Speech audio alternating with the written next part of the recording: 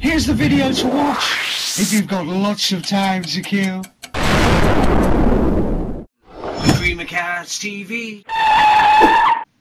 Hello, internet ladies and gentlemen. Okay, the video that you're about to see is one of many that I've done about World War One and World War Two collectibles. So after you've seen this particular vid, please don't forget to check out my others and to rate them and if you haven't done so already please click on the subscribe icon because I'll be doing lots more interesting videos in the future. Okay here we have a fantastic set of cards. Um, let's have a bit of background information. The huge revolution in firepower was not matched by similar advances in mobility and that's why horses were still widely used in World War One.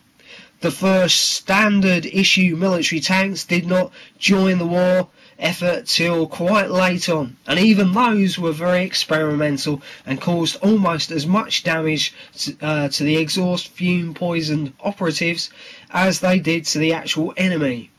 Anyway, John Player and Sons issued a number of beautifully illustrated military card sets leading up to and towards the beginning of World War One. This particular set, uh, which was issued in 1914, is devoted to cavalry regiments, and judging by the unusually uh, large uh, card size, would have been issued in extra big packets. The bumper packets were uh, not as popular as uh, the regular packets, explaining why these cards are quite scarce compared with the other sets.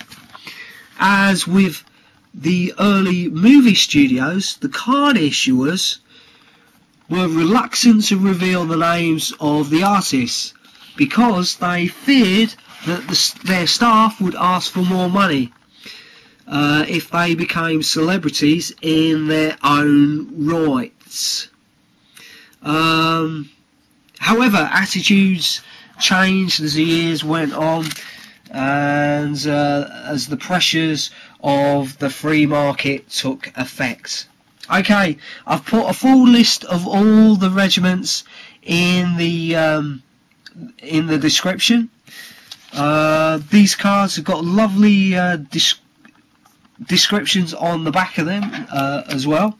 Please don't forget to check out my other military related uh, collectibles videos and uh, please uh, rate them and I'll be doing lots more videos in the future.